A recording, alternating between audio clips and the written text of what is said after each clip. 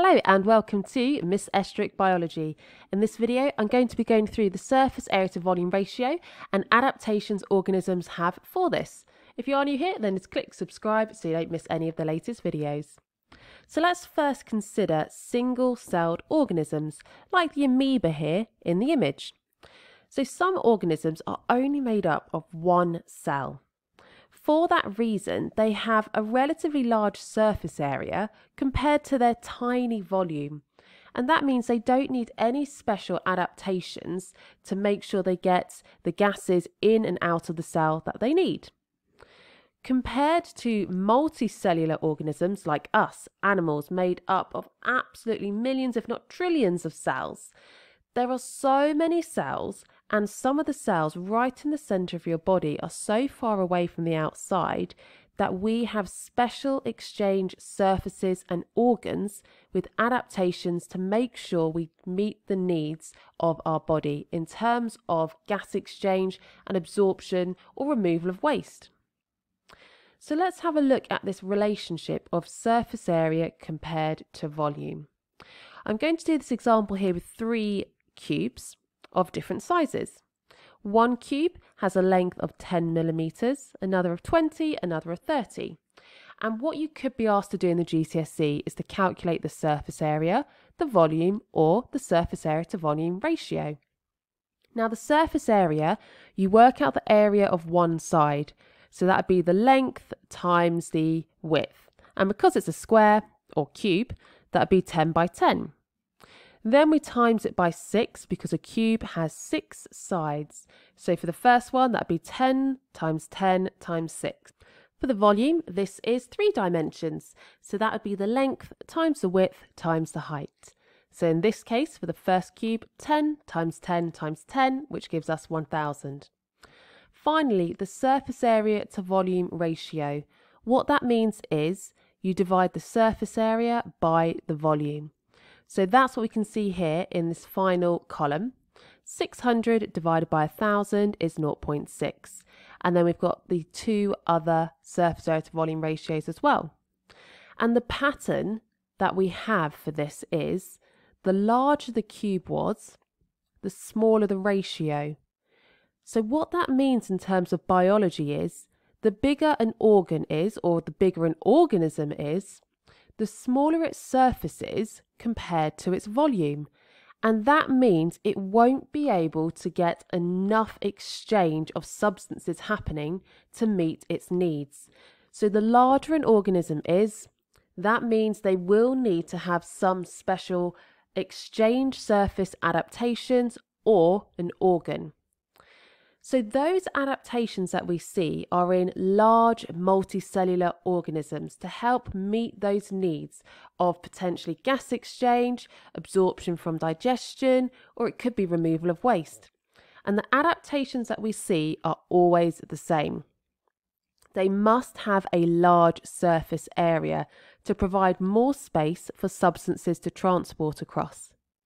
They need to have a thin membrane, and this is so it's a very short distance or short diffusion pathway. They need to have an efficient blood supply nearby, and this is so that whatever is being transported can quickly be transported away to maintain a concentration gradient, which is essential for diffusion.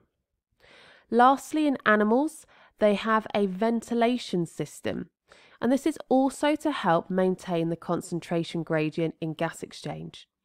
So let's have a look at the examples that you need to know about in particular. The small intestines in animals are covered in these projections called villi, and that is where digested food products are absorbed. So if we think about that first adaptation, the large surface area, that's because they are folded but also on the outside of the villi, we have these microvilli, which have even more tiny, tiny projections. And all of these foldings provide a surface for digested food to be absorbed. It's very, very thin wall. It's only made up of this one layer of microvilli. So that's our short diffusion path.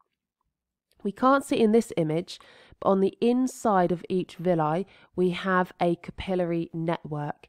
and that is so as soon as any digested food products are absorbed, they get transported away in the blood to maintain that concentration gradient. Next, if we think about the lungs in animals, specifically the alveoli. Now, for a large surface area, that is produced or maintained by the fact that there are millions of alveoli in both the left and the right lungs. The thin membrane is due to the fact that each alveoli wall is very, very thin. It's only made up of one layer of cells. Again, we can see that they're surrounded by this capillary network to maintain the concentration gradient because as soon as oxygen diffuses from the alveoli into the capillary, it's transported away in the blood. There is also the ventilation system to maintain the concentration gradients. As we inhale, we're bringing in oxygen rich air into the alveoli, and as we exhale, we're removing carbon dioxide rich gas as well. And that is how we are maintaining that concentration gradient. Fish also exchange gases, but because they're underwater, the adaptations they have have to account for the fact that there's so much less oxygen dissolved in water than there is available in the air.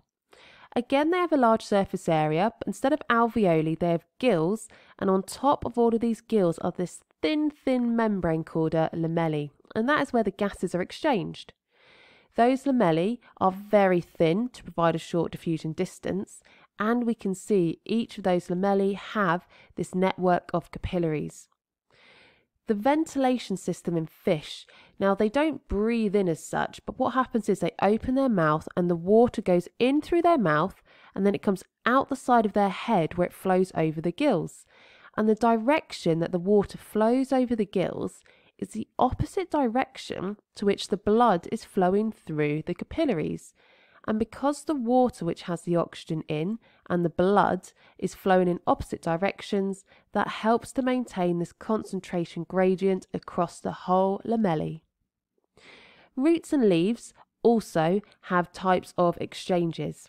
The leaves will be exchanging gases and the roots are going to be absorbing water and mineral ions. So both have a large surface area the roots have these root hair cells, which are these long projections coming out of the cell to increase the surface area. There's also a really thin membrane in the root hair cells, which is going to reduce the diffusion pathway. And leaves, which is where gas exchange occurs. Leaves are very thin, so again, there's a short diffusion pathway. So, those are the adaptations that multicellular organisms have on their exchange surfaces or organs to make sure that they can meet the demands of the organism. I hope you found that helpful. If you have, please give it a thumbs up.